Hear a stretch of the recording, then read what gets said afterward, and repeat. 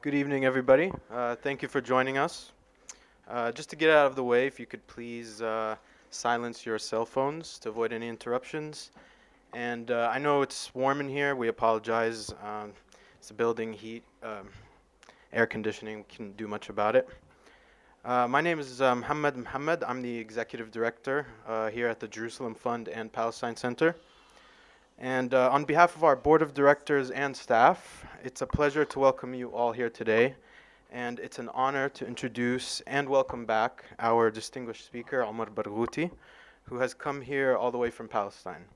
And for those of you who don't know, we had uh, the pleasure of hosting Mr. Barghouti back in 2012. So it's been a while. Uh, I would also like to take this opportunity to thank everyone at the U.S. Campaign for Palestinian Rights uh, who co-sponsored this event and helped make it possible, so thank you.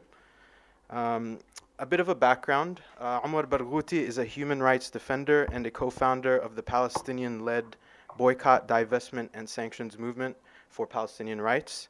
He holds bachelor's and master's degrees in electrical engineering from Columbia University and a master's degree in philosophy from Tel Aviv University. He is the 2017 co-recipient of the Gandhi Peace Award, which I believe he just received, and the author of BDS, The Global Struggle for Palestinian Rights.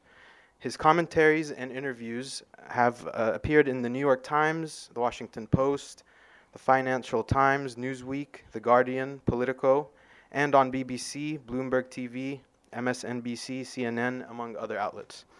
In his talk, Mr. Barghouti will reflect on the growing successes of the Palestine, uh, Palestinian-led boycott, divestment, and sanctions movement, which he helped to found. He will also address the future challenges presented by growing repression campaigns against this movement on the state, campus, and individual levels. He will speak for about 40 minutes, after which we will have a Q&A session.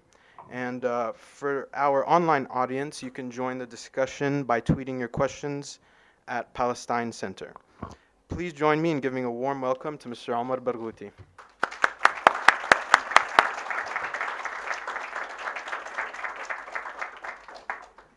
Uh, thank you very much, uh, Muhammad. I thank the Palestine Center for hosting me, uh, and I'm glad to be with you.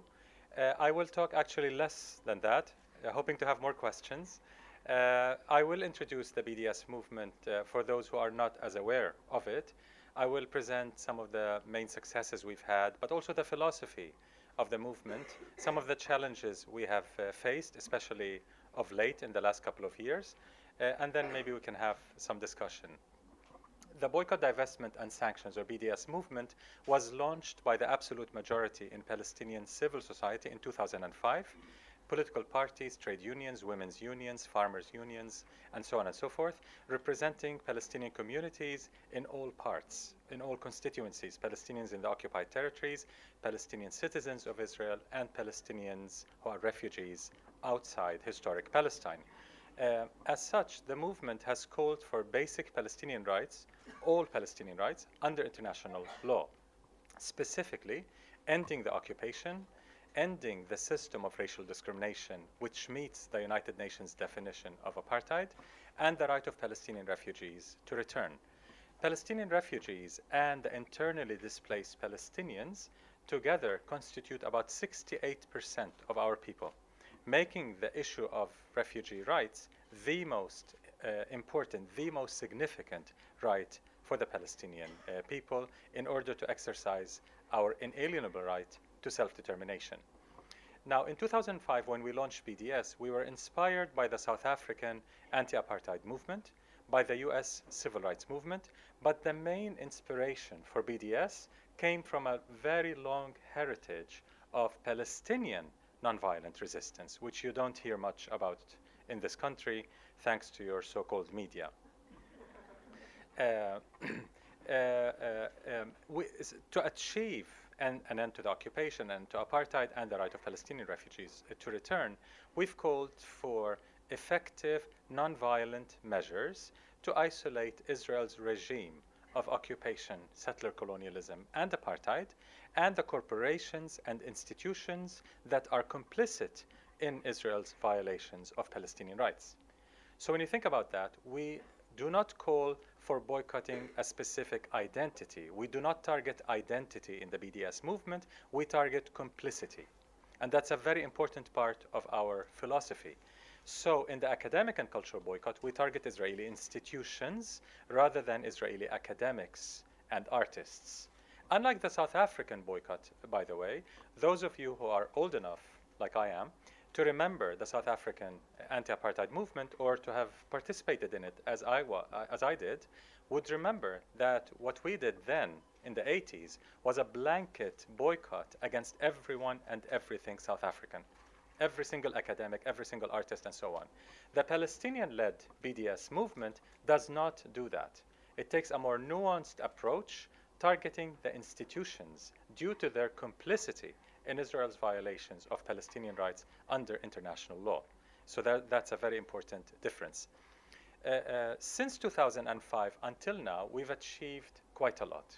We've grown this movement uh, uh, from the, the small beginnings to the global movement that it is today, being fought by the power of the State of Israel and its many allies in, in, in governments in the West, especially uh, in the United States, in Europe, Australia, Canada, and, and elsewhere.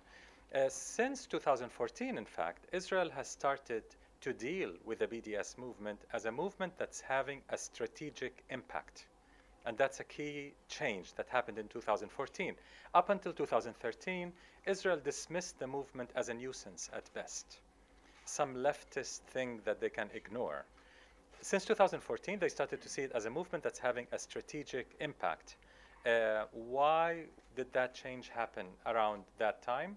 You might remember the SodaStream campaign, Scarlett Johansson. You might remember the American Studies Association decision to endorse the full academic boycott of Israeli universities. Things were starting to happen. But what you might not have noticed then, that we started to have an economic impact around that time. So it wasn't just the Scarlett Johansson and the American Studies, both extremely important, but also the beginning of an economic impact.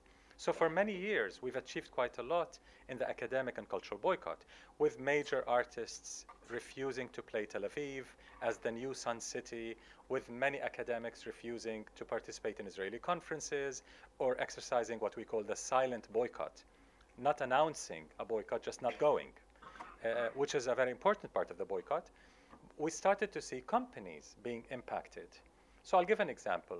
Veolia, one of the largest companies in the world, which was involved in the tram uh, uh, rail that connected Israel's illegal colonies in the occupied uh, uh, Palestinian territory to the city of Jerusalem, therefore rendering services to illegal Israeli colonies, violating international law. Veolia suffered uh, over a seven year BDS campaign that, that started in 2008 and ended in 2015 suffered more than 20 billion dollars worth of tenders and contracts, billion with a B. Uh, um, so ultimately, in 2015, Veolia had to end its entire involvement in the Israeli economy, all its violations of international law, and had to leave the Israeli uh, market. This triggered a domino effect after Veolia, we saw Orange Telecommunications pull out of Israel, CRH, the largest building materials company from Ireland, pull out of Israel as well, and G4S towards the end of 2016. G4S is the largest security company in the world. It was involved in securing Israeli prisons where Palestinians are tortured. And right now, we have more than a thousand Palestinian prisoners on hunger strike asking for dignity and liberty and for improving their conditions in Israel's apartheid dungeons. So G4S was involved in the Israeli prison system, as well as securing Israeli colonies in the occupied territories and checkpoints and so on and so forth. G4S had to end its involvement in almost all of these violations of human rights, except for one. It's still involved in the Israeli prison, uh, uh, um, uh, Israeli police training center in Jerusalem, and that's why we are continuing the BDS campaign against G4S. But one of the biggest companies on earth had to bow to BDS pressure and get out of all these projects. This is important not just for the Palestine movement, but for all progressive movements, for all justice movements that we work with, whether it's the black justice movement, the racial justice, economic justice, the LGBTQI communities, the feminist movement, the Latinos, and many, many movements around the world uh, uh, uh, uh, see this as very important. It's not every day that a human rights movement gets a huge company on its knees to respect our human rights. It takes a lot of very strategic campaigning, a lot of self discipline, and a lot of prioritization to get to that point. And we're proud that we've done that. Getting there, we've established uh, uh, amazing intersectional uh, coalitions with various justice movements around the world. And what I mean by that, not opportunistic or transactional type of coalitions whereby we come to your demonstration and you come to our demonstration. It's nice, but that doesn't cut it. That's not enough. Uh, uh, uh, we evolved organic links that see that justice for blacks in the United States is also justice for the Palestinians and vice versa working with Latinos against the wall with Mexico or against working with blacks and Latinos on the mass incarceration system is important for humanity, not just for blacks and Latinos in the United States and vice versa. Connecting our struggles is not a luxury, it's an absolute essential component of today's world because under the current far right administration in this country and the rise of the far right from Tel Aviv to, to uh, Europe to India to elsewhere, it is incumbent upon us, human rights activists everywhere, to connect our struggles in an organic and principled way. Otherwise, we cannot win. I've said this before, and I repeat it uh, uh, uh, isolated, we can never win. United, we can. So it's very important that we unite those uh, struggles. Um, so BDS has shifted over the years from having an impact in the economic, in the academic and cultural sphere to having more of an uh, impact in the economic uh, sphere. This has led Israel to shift its strategy completely in dealing with the, uh, with the movement. In 2014, Israel adopted a new strategy, in a way admitting the failure of its previous strategy. From 2005 until 2014, Israel's strategy to fight BDS was the Brand Israel campaign fighting BDS with propaganda, sending um, Israeli artists and academics and gay activists and, and, and whatnot around the world to project Israel's prettier face, as they put it in their brochures, Israel's prettier face, so that Israel is no longer associated with occupation and fundamentalism and violence, but is associated with being a cultural hub, an IT hub, and, and, and so on and so forth. This has failed miserably. So in 2014, they adopted a new strategy a top down strategy that involves uh, mobilizing Israel's massive intelligence services, the Shabak, the Mossad, the military intelligence, in spying on BDS activists, on sabotaging BDS work networks, uh, cyber sabotage, or more than cyber sabotage. Uh, legal warfare is a, a, key component, I would say the key component of that new strategy. As you're seeing here in the United States, Israel is passing, Israel's lobby is, is passing anti-BDS legislation one state after another. The U.S. Congress is now uh, uh in the process of passing anti-BDS legislation. We all need to stop that legislation. It's extremely important uh, for us, and I'll explain why. It's not just about Palestine. What they're doing by trying to target BDS in this country and to make it illegal to support BDS. If you support BDS, you might be violating the law, you might be committing a crime if this law passes. What they're trying to do is to suppress free speech on Palestine as an opening to suppress free speech, period. Those who do not remember McCarthyism should better go back and read about McCarthyism. Initially, it targeted a very small uh, uh, uh, group, a very small demographic that people can just dismiss. Yeah, it's targeting the communists, so I shouldn't worry, right? Because I'm not a communist. And then it targeted God knows who, and, and on and on and on. And then it targeted everyone who dissented with the party line. Uh, uh, uh, exact same process is happening right now. They're targeting Palestinians because we're the weakest of the weak, because they feel they can get away with it. It's easier. You, it's much more difficult to target uh, Black Lives Matter, for example. But be assured, if they succeed in suppressing our freedom of speech on Palestine, they will go after every progressive movement in this country. You will gradually lose the very meaning of the First Amendment of the US Constitution, the protection of free speech, which is one of the gems you still have in this country, and we should all try to protect it. Uh, that's the meaning of this anti BDS legislation. And we should therefore widen the circle that opposes it from just the Palestine solidarity groups to the liberal mainstream that should work with us on principle to oppose those draconian, uh, anti democratic, uh, and uh, unconstitutional measures that are trying to suppress the BDS movement. The wider the circle that opposes it, the higher the chance will be to succeed. So that's extremely important.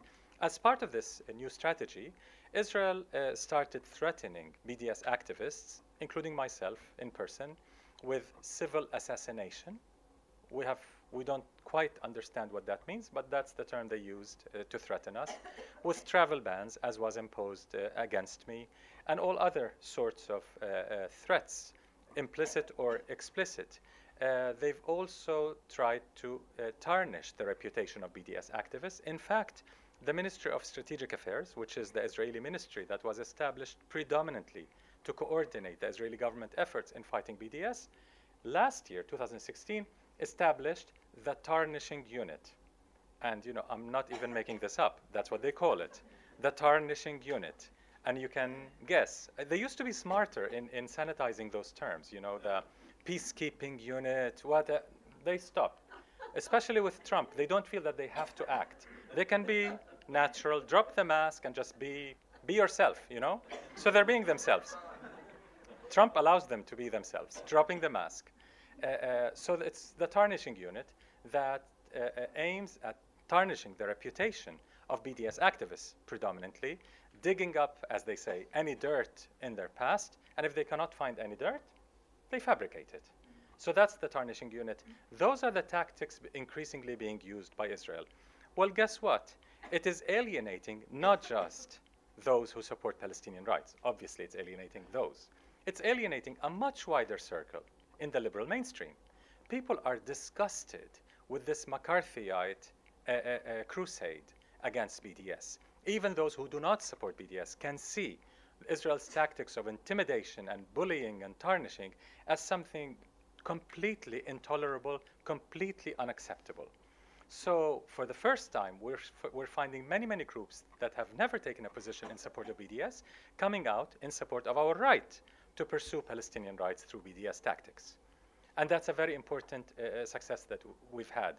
We, are seeing a shift in public opinion in this country. The Brookings Institution, for example, had a poll last December that showed 46% of all Americans support sanctions or tougher measures against Israel to stop its settlements and occupation. Almost half of all Americans support sanctions on Israel. How is this Congress reflecting this? Zero. Uh, uh, which is a challenge, which is a challenge for all of us, how to leverage the change in public opinion into a beginning of affecting policy change at the city council level, at the state level, and then hopefully at Congress level. But certainly at city level, we can do much more to leverage this growing support. Even among Jewish Americans, and this is a key point that terribly worries the current far right Israeli government. Among Jewish Americans, according to a J Street poll, no less, a J Street poll in 2014, eh, almost half of uh, uh, non Orthodox Jewish American men support a full boycott of Israel. A full boycott of Israel. Almost half. Men, men under non Orthodox Jewish American men under 40. 46% to be precise, support a full boycott of Israel to end its occupation. Uh, uh, this is an extremely important uh, uh poll that shows just how much uh, uh, BDS has grown in the last number of years, and Israel is terribly worried about this, this, this drastic shift that is happening. They see this as a strategic disaster for Israel's regime of occupation and, and apartheid. So the challenges are very serious. The challenges are real, but the movement is growing. Major pension funds are pulling out. Major companies are being forced to end their involvement in human rights violations by, by Israel's uh, regime. Uh, uh, major academic associations, trade unions, women's groups, and so on are supporting BDS. Churches in this country, mainline churches, have taken softer BDS measures, not full BDS, but softer BDS measures, which are still very drastic. The United Methodist Church, for example, in 2016, early 2016, decided to divest its pension fund of all Israeli banks. An extremely important step because of Israel's banks' involvement in financing the occupation, the settlements, the wall, and, and so on. Uh, the Presbyterians divested from HP, Caterpillar, and Motorola Solutions in 2014, United Church of Christ, the Mennonites, and so on and so forth. So it's hitting the mainstream. Uh, uh, six out of 11 National Football League players, NFL players, last year refused to take a trip to come to Israel, a propaganda trip to go to Israel. Six out of 11. This would have been unimaginable just a year ago. Of the 26 Oscar nominees in 2016, none took a very expensive Israeli junket. None of the 26. Who would have thought we had any impact on Hollywood? Uh, but clearly, the impact is growing. We should not see the attacks on BDS as reflective that the movement is on the wane, that the movement is getting weaker. Exactly the opposite. They wouldn't go to such extremes, such McCarthyite extremes in targeting BDS if we were not growing and growing at a very, very impressive rate and reaching the mainstream. So, mainstreaming the movement is a key challenge, but first we have to defend our right to assert Palestinian rights through BDS. And as I said, this is a challenge for all of us and well beyond us to the liberal mainstream in this country. I'll stop here so that we have enough time for questions, uh, uh, comments. Thank you.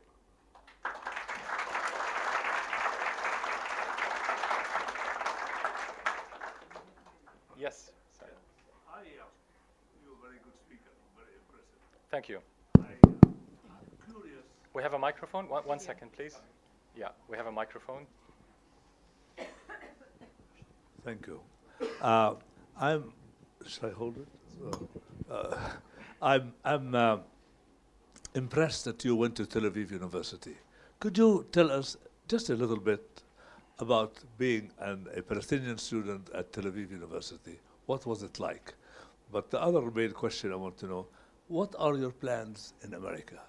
Do you have enough uh, groups here, uh, organizations, financial support, all of that, so that we can know how to help you? Thank you. Uh, okay, thank you. Um, I studied philosophy. Initially, I started a PhD program at Tel Aviv, uh, ethics, in the philosophy department. Uh, not the easiest thing to study at Tel Aviv University. Um, um, but as uh, part of my studies was doing it by email, not going to campus a lot. So that was one of the key issues to me because it wasn't easy to go to campus, especially towards the end. Uh, as I finally decided to get a master's degree instead of pursuing my PhD, uh, before I graduated, there was a huge campaign against me uh, with my picture being on posters and a number saying, if you see him, call us. and a petition, uh, can't remember, 2008, around that time. Uh, the petition was signed by, I think, 180,000 people calling on Tel Aviv University to expel me. Uh, um, so that was my experience in a nutshell. I had a wonderful professor, my advisor, Professor Marcelo Dascal, uh, at Tel Aviv. Um, so that's, in a nutshell, my experience there. Uh, whether the BDS movement has enough partners in the US and how it's growing, obviously, we wouldn't have reached uh, uh, the ivory tower of Hollywood or the trade unions or the churches if it weren't for the many amazing activists and groups, whether the US Campaign for Palestinian Rights, Jewish Voice for Peace, Code Pink, uh, uh, Friends of Sabeel North America, uh, AFSC, and many, many, many groups in the United States that are doing amazing jo- uh, ama- an amazing job in, uh, in articulating Palestinian rights in the mainstream, in arguing why Americans should end their complicity in Israel's regime of oppression, which is a, a, a profound moral obligation. We're not asking people for charity. When we ask an American church, an American trade union, an American pension fund to end its complicity in Israel's occupation and apartheid, we're not asking for a charity. We're asking them to fulfill a moral obligation to do no harm to us. So I think we have quite a lot of groups that are working because BDS is not a, a, um, a, a hierarchical pyramidic type of structure. It's a, it's a loose network of groups who agree with the BDS call of 2005, with the main principles of the call, and with the tactic of boycott, divestment, and sanctions. Of course, this global movement is, is led and guided by the Palestinian BDS National Committee, which is the largest coalition Palestinian society, but again, led in the very loose meaning of led, setting the main guidelines and the main strategy, but every group decides its own tactics, its own targets, and how to pursue it. Can we just add a point? Is there a website for you guys that we can? Sure. The main website is bdsmovement.net. bdsmovement.net. bdsmovement.net. One word, yes. Yes, ma'am. Let's just wait for the mic, please. One second. I gather um, um, President Abbas is coming to the White House in a couple of weeks. I'm hoping, hoping something good is going to come of it. Do you have any thoughts on that? Uh, you had to end on a bitter note. Okay. Uh, I have no expectations of that. Uh, um, there's no current Palestinian leader that has any democratic mandate. It's a fact. It's not a matter of opinion. No Palestinian leader today has a, a, a, a democratic mandate to represent Palestinians, let alone compromise on Palestinian rights. The current administration is so anti Palestinian that it's impossible to imagine anything positive coming out of it. It's just more dictates and a very pliable, very obsequious Palestinian officialdom that will just follow orders uh, very obediently. That's as much as I can expect. Our hope is with the people, with uh, civil society, with people of conscience. That's where the hope lies. We can make the change, not some unelected official anywhere. Yes. Thank you, Okay, and thank you for your remarks. Um, Two short questions. Number one, why did Israel relax the travel ban and allow you to come here? Uh, Which I'm very glad that they did. And number two, uh, could you tell us what industries or institutions you are targeting currently, please? Okay, on the first issue, I'm under a gag order, so I cannot discuss my case, unfortunately. So they attack me, they spread lies, fabrications on me in the media, and I'm not allowed to respond. Only when the, this process, this interrogation process is over, can I have the pleasure of responding. and I will have the pleasure of responding when the time is right. But now I'm not, I cannot under, under this uh, gag order. Uh, and um, the second part was which industries we target. Um, we have certain criteria in, in the BDS movement at, at large around the world for selecting BDS targets. If you pursue, if you start a campaign against every boycottable company, we'll end up spreading ourselves so thin that we will never be effective. Again, it's, it's, it's not, BDS is not just about moral principles and moral commitment. That's extremely essential, but it's not sufficient. It's about being strategic and effective. We're doing it to achieve our rights, and therefore we have to keep our eyes on the ball. If we just feel good, yes, I'm boycotting this and boycotting that, and, uh, and have no impact on anything in life, how are we serving Palestinian rights? How are we getting any closer to Palestinian freedom, justice, and equality? That's why we, we've adopted, we've evolved certain criteria for selecting a BDS target. First, the level of complicity.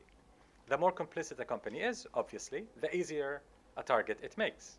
We can mobilize public pressure against a company that's deeply complicit. A company that sells flowers to Israeli settlements is far less complicit than a company that sells security to Israel's wall and colonies.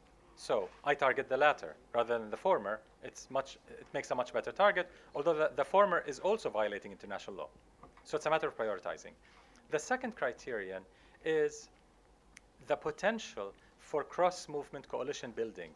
If I target a company X, which only violates Palestinian rights, or I target a company Y, which violates black rights in this country as well as Palestinian rights, the latter is a better target. It allows me to build coalitions with Black Lives Matter, let's say, a principled coalition targeting a common enemy, so to speak. So that's a second criterion. The third criterion, media appeal. If, if two companies are as complicit and allow for coalition building, but one is a well known brand, that people can identify and can see in the supermarket, uh, on the streets, uh, and so on. And a second is such an obscure company that no one has heard of. Clearly, the, the, the first would make a much better target. The fourth, the last but not least, uh, uh, uh, criterion that activists sometimes forget is the potential for success. Again, we're, we're in it to make, a to make a difference, to make a change. We should not embark on a campaign against a company where we have no reasonable chance of success. That's a waste of our extremely precious time. As activists, as volunteers, we have no time to waste. We have to be as, as, as efficient as possible, as scientific as possible, and art, as artistic as possible, because BDS is an art and a science. So we have to be very effective and very strategic. We have to win. If I cannot win, I should not target this company. So that's in a nutshell how we target. So it's not a particular industry uh, per se. If you fulfill those criteria, you reach uh, better results, I think. Uh, sorry, there was another question here, and then you. Um, thank you. Uh, Listening to you is always uh, such a pleasure because you're so incredibly um, articulate and Thank you. um, and uh, able to really um, make us all feel as though we have something positive that we can do. Um, my question actually grows out of what you just said, which is um, assuming that um, that BDS succeeds um, on a large scale, then what? What um, what is the vision for what should what should emerge from the success of the BDS movement? Um, the BDS National Committee, the Palestinian BDS National Committee, the BNC, wh- which, as I said, is, is the largest coalition in Palestinian society, uh, does not agree on much beyond the three rights ending the occupation, ending apartheid, and the right of return. Uh, um, as such an enormous coalition, it is very difficult to go beyond those three points. So we have never taken a position on one state versus two states. mean one state versus two states. I mean, um, what is supposed to happen? Um, Okay, we might be good activists, but we're not prophets.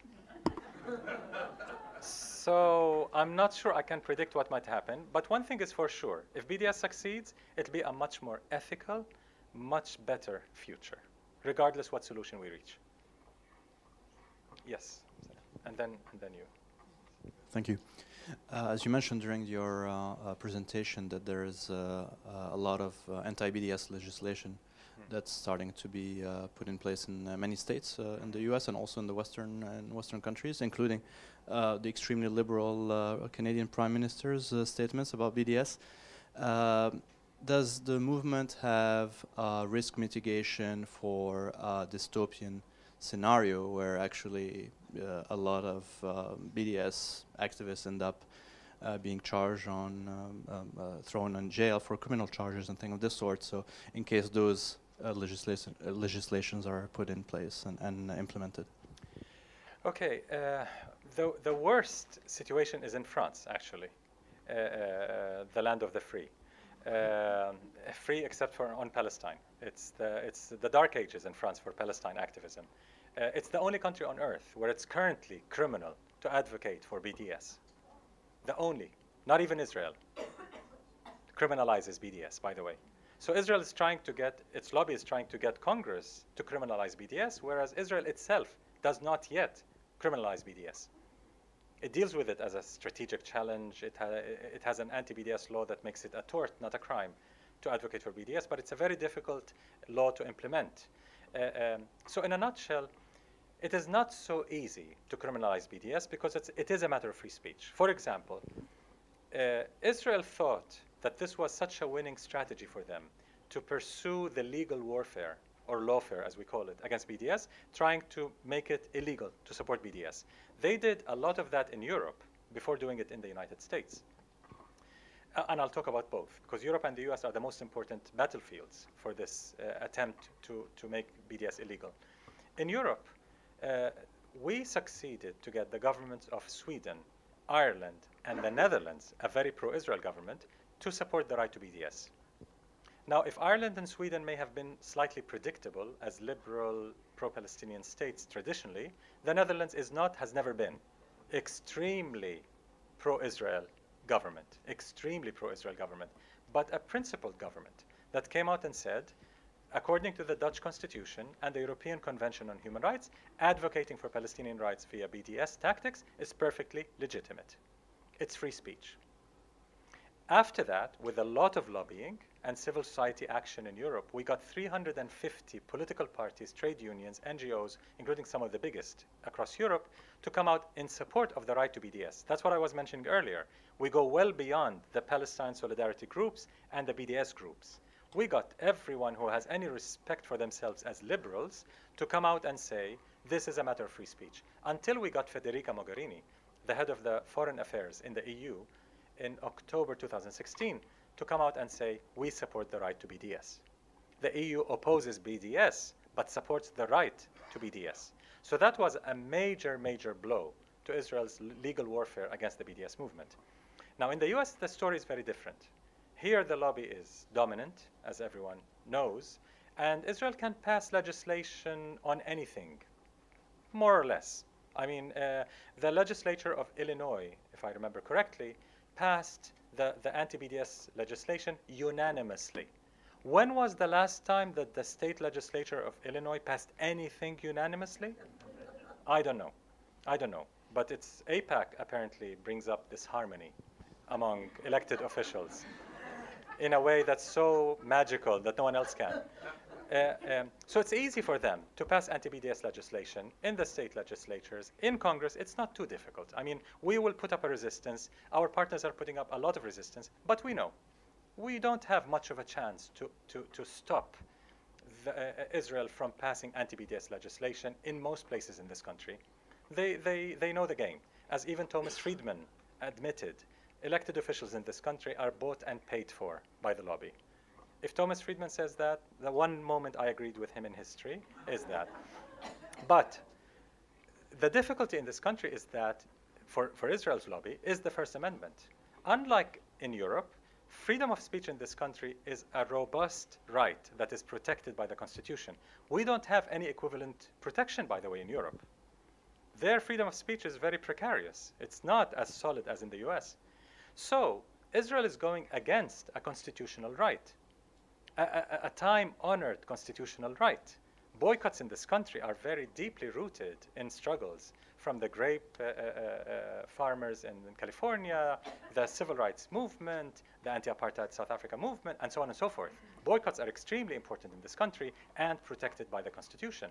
So we think that a legal challenge that reaches the Supreme Court will give us a big win against all these anti-BDS legislation. But that doesn't, that should not make us uh, sit on our hands and do nothing. We should do everything to resist the legislation one by one, every time, and form those big coalitions that are forming now, right now, with the American Civil Liberties Union, the National Lawyers Guild, Center for Constitutional Rights, Palestine Legal. Many groups are getting together to, to defend the right to BDS. Uh, uh, so that's the, the, in a nutshell, the, the picture in the US. They're succeeding a lot, but we haven't reached the courts yet. So we'll see who'll succeed at the end. Uh, there was, yes. And, and then you, yes. Um, a group in our church community uh, has been working to increase awareness of BDS and what which church, if you the, the, Unitarian Universalist yes, Church of, of Arlington, yes. and you probably know through Tracy Rogers. Yes, of course. Um, in our dialogues within our community, we have been in contact with several Jewish communities. And one of them, the most prominent, and actually a quite liberal and one dedicated to social justice, we are unable to persuade them or their rabbi that BDS is not anti Israel or against the Jewish state or is ultimately calling for the end of the Jewish state. How do you respond? Okay, uh, first, I don't think it's worth the effort to try to convince those who don't believe that Palestinians deserve equal rights. I wouldn't spend a lot of my time trying to convince them. As I wouldn't have spent a lot of time trying to convince the KKK why blacks deserve equal rights in Alabama. We should convince everyone else, but who cares about the KKK opinion? I mean, they'll come around when they see it's the fashion now. You know, racism is becoming uncool. They will join the bandwagon. Uh, um, so yeah, racism on Palestine is still cool. You still get away with saying racist things against Arabs, against Muslims, against Palestinians in this country. I think we must be like the only group that it's okay to be racist against openly in public. Uh, uh, um, so I, I think we should not hold the pursuit of justice hostage to those who are racist enough not to recognize us as equal humans that deserve equal rights. That's the key point. The second point is that BDS pursues Palestinian rights under international law. Why should that be interpreted as a destruction of a death of a of anything? Why should I consider getting my rights under international law, equal rights like everyone else, destruction of something? Think about it logically. If I get freedom, justice, and equality, what would that destroy? Slavery, inequality, and injustice. Period. The only thing that should be worried about being destroyed, although I wouldn't use that very violent term because it's a nonviolent movement after all, is um, a, an order that's unjust. That's the only thing that will be ended if BDS were to succeed. The second point is that the, the uh, implicit and sometimes very explicit anti-Semitism charge, right? I mean, you hear that all the time. If you support BDS, especially if they use that with churches. I mean, uh, it's very clear how this tactic is used in churches. Um, is BDS against Israel anti-Semitic because Israel is the only Jewish state? That's how the argument goes. Um, well, as I said earlier, if Palestinian rights Uh, uh, should mean the end of something. It's an end of injustice. A movement that pursues Palestinian rights, equal rights under international law, does not hurt any particular community. Second, the argument itself is anti Semitic. Saying that a boycott of Israel is anti Semitic because it's equivalent to a boycott of all Jews is an anti Semitic statement because it equates Israel and all Jews as if all Jews are one monolithic sum that can be completely represented by the state of Israel. That is very anti Semitic.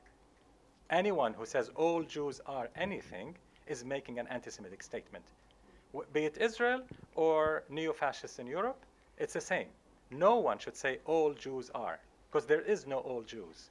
There's human diversity among Jewish groups, like any human groups. Anyone who dehumanizes Jews by making them superhumans or, or subhumans is making a racist statement and we should not accept that. A movement for Palestinian human rights cannot be racist against anyone else, cannot be per, uh, interpreted as a dis- destruction of anything else except injustice.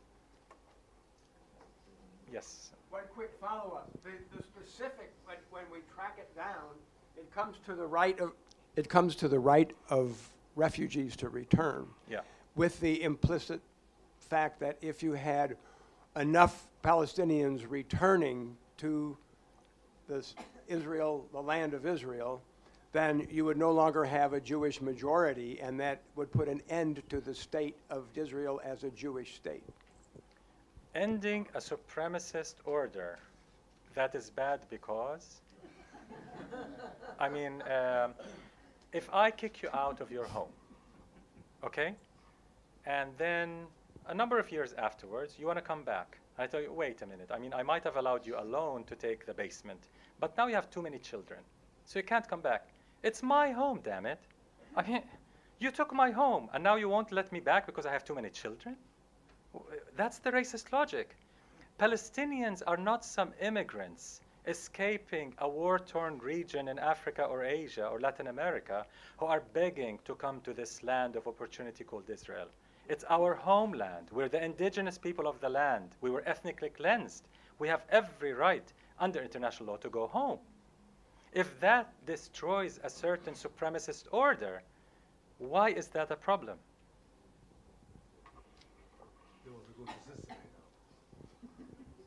يعطيك العافية. Um,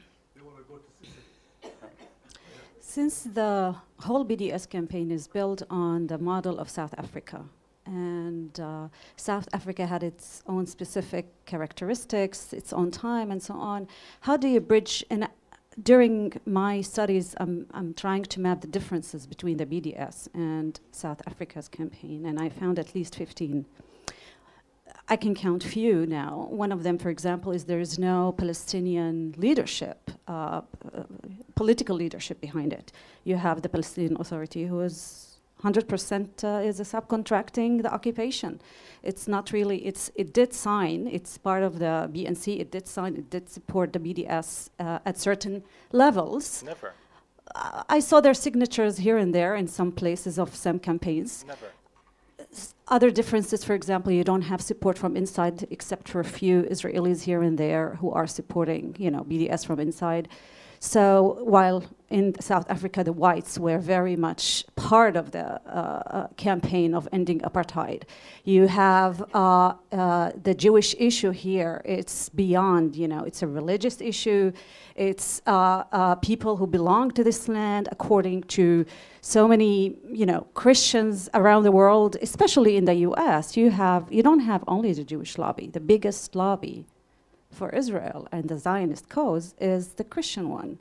How do you overcome and bridge all these differences, especially that the whole BDS is built on, on, on something that is passe, that does not exist, that is not compatible to the Palestinian cause at all? It's geopolitically, name it. The Cold War is over. The U.S. is, is, is, is actually who, who boycotted South Africa is now supporting Israel. You have no whatsoever, let's put it this way, um, um, what, what, i- what is the, our leverage? What is our leverage? How do you really compensate on these 15 gaps, which I can show you, you know, later on I can show you what I wrote about this, Yeah, if you're interested. I've studied South Africa carefully, but you, you might Carol. Have, you might have Oh, misheard I saw me, uh, or you, or I misexpressed uh, uh, myself. I never said that BDS is based entirely on South Africa. I said that was one of the inspirations, the civil rights movement being another. But I said the main inspiration is a very long heritage of Palestinian nonviolent resistance. That's the key inspiration, not South Africa. South Africa is one of the main inspirations, because because there's a huge difference. There are many, many uh, uh, uh, uh, similarities between the two situations, but there are many huge differences as well. And there's no copy paste in those movements. You learn a lot. You get inspired by a lot of what they did in South Africa, but we develop our own Palestinian relevant tactics that suit our own particularities, not the South African particularity. Um, now, the facts that you mentioned were also very real in the South African struggle. Uh, our relations are with leaders of the anti apartheid movement. So we don't learn about the South African struggle just from textbooks, we learn it from the leaders who made the movement uh, succeed.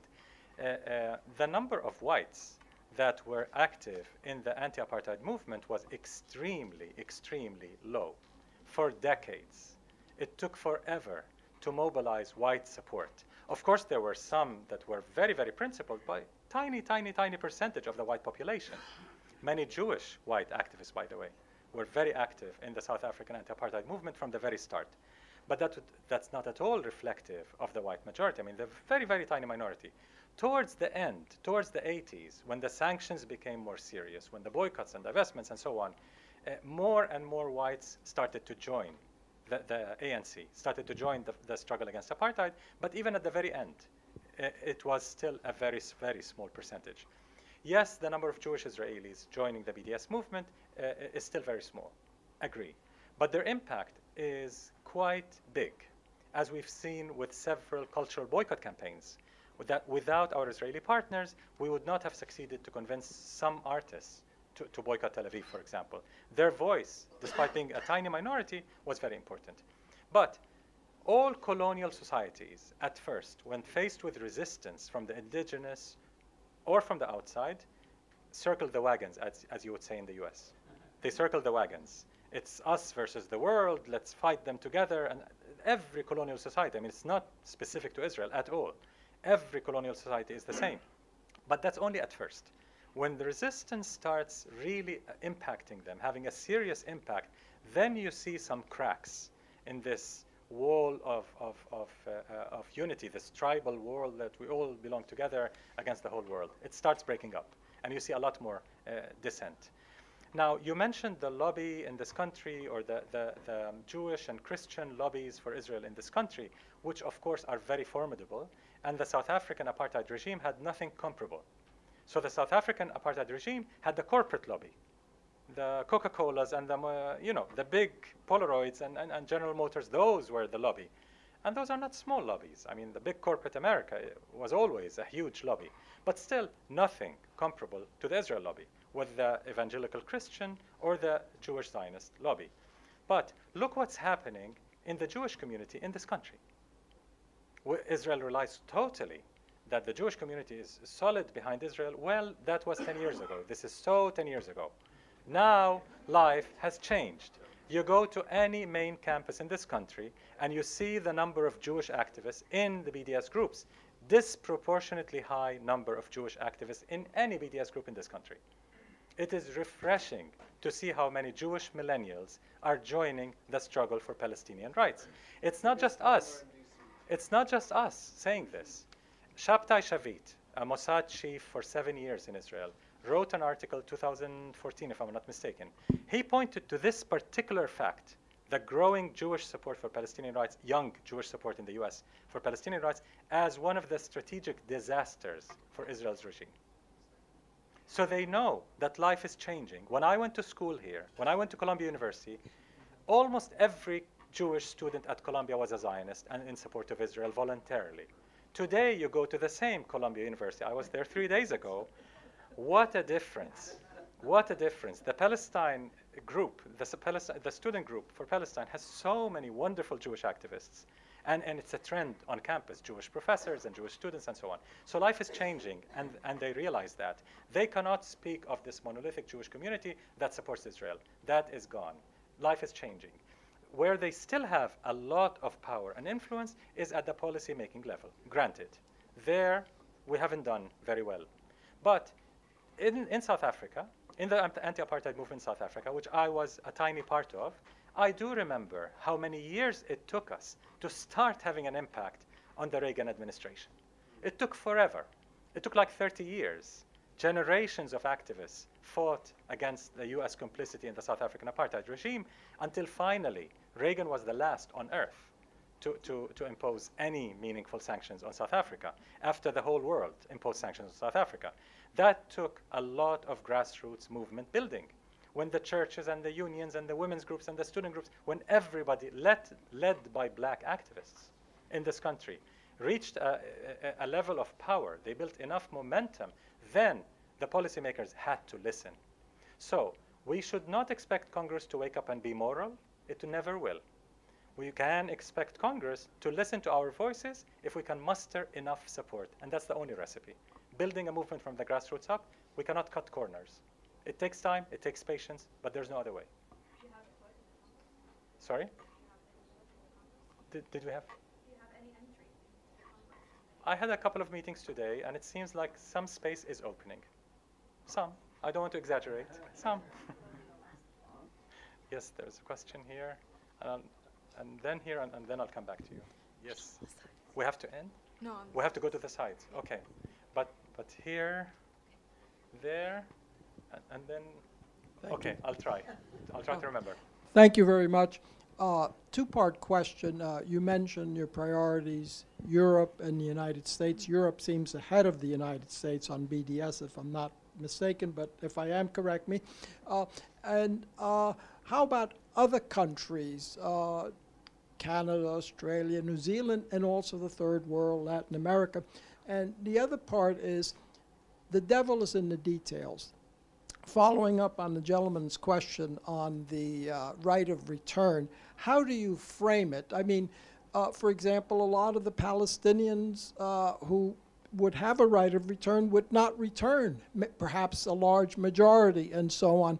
And so, how is this framed in a way that you can have some kind of, uh, let's say, negotiation uh, uh, with uh, the Israeli government, which is a reality?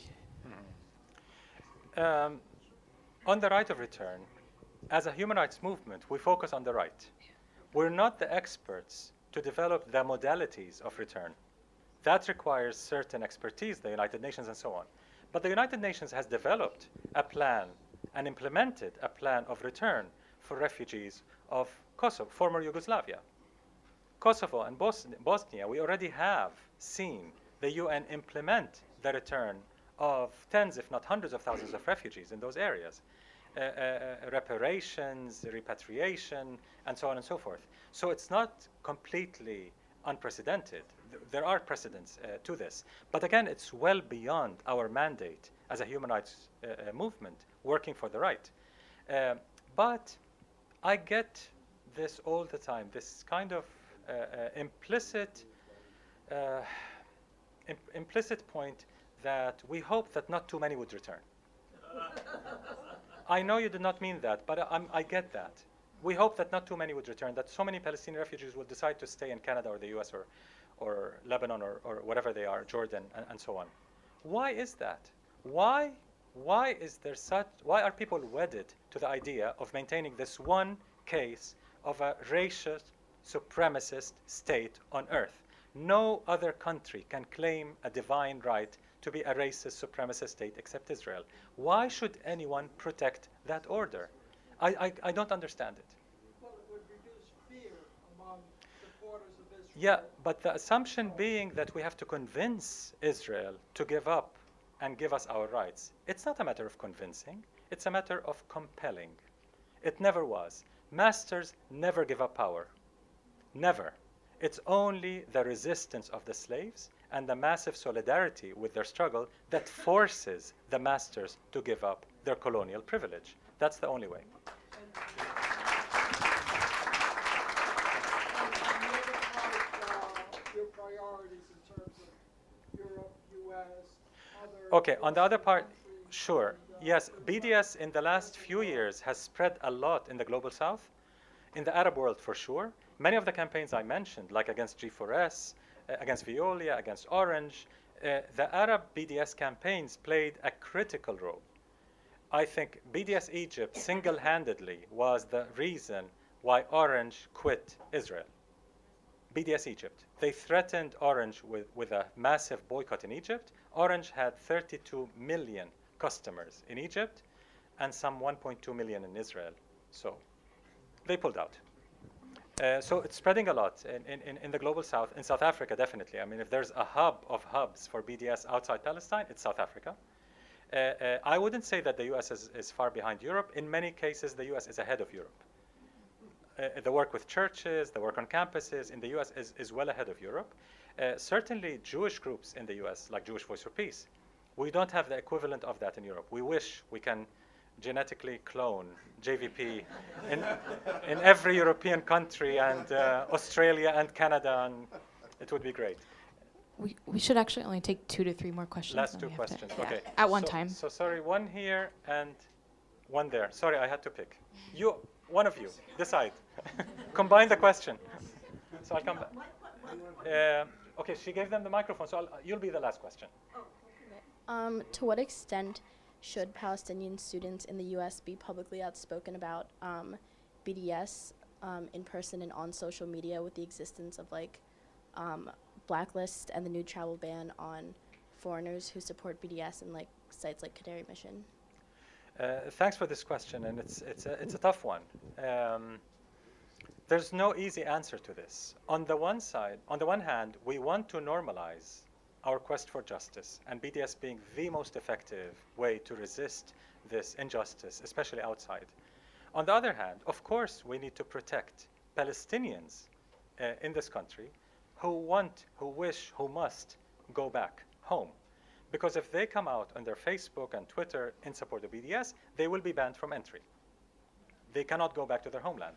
So we suggest using pseudonyms. We suggest not using your name. Try in any way not to use your name. Or if you join a campaign for justice uh, uh, and freedom, it doesn't have to carry the BDS logo. It doesn't have to say boycott, and it doesn't have to say BDS. Uh, there are many creative ways how to do things without labeling it as, as BDS, but certainly using pseudonyms. We highly, highly recommend that for Palestinians in particular, but everyone who cares uh, uh, to go to Palestine as well. Uh, but of course, that doesn't mean we should not challenge this. Some uh, groups in this country are, are, are, are thinking of ways to challenge the ban by going there and announcing that we support BDS, ban us. And then it'll be a big media scandal and so on and so forth. So there are many tactics how to challenge Israel. We should not accept it as a fait accompli. As, as you know, the, whatever Israel, uh, whatever draconian measure Israel decides, we accept. No, we don't accept. We challenge it. But in the meanwhile, we have to protect our identities. So the last question. I'm sorry. There- I there's- had, pl- I had, I. I was told I can only take two questions. I'm sorry.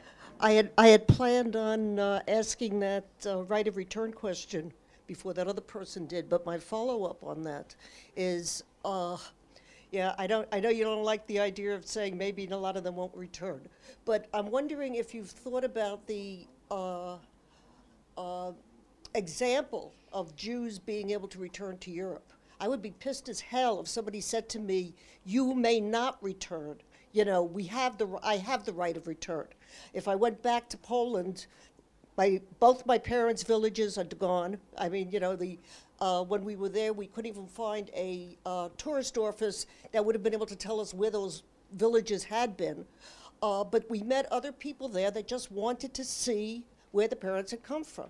Now, the people who are going back to uh, Germany don't have their old homes to go back to. I mean, it's very much the same kind of situation.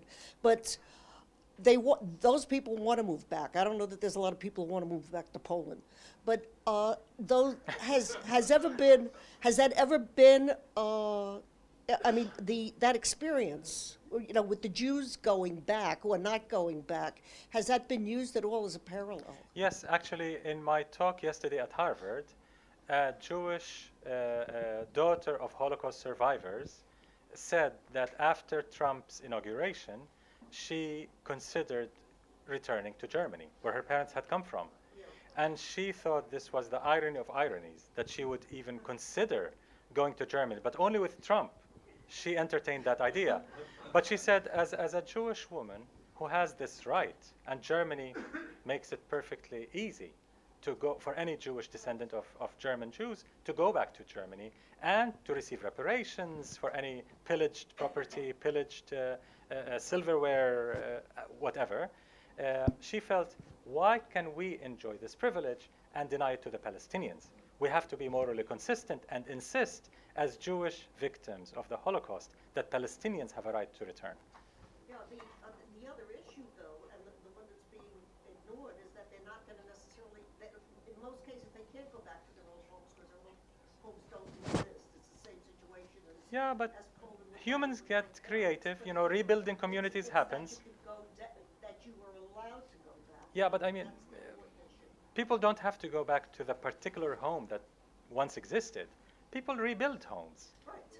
People rebuild communities. It's a matter of implementing the right.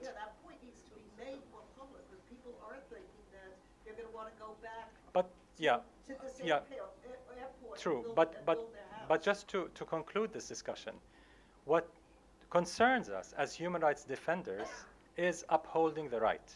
Right. There are many details that need to be discussed and are very important, but those will be discussed by more uh, by experts who can discuss them based on international law, on former precedents, and so on. In the time being, the challenge is to assert Palestinian rights, including the right of return. Thank you.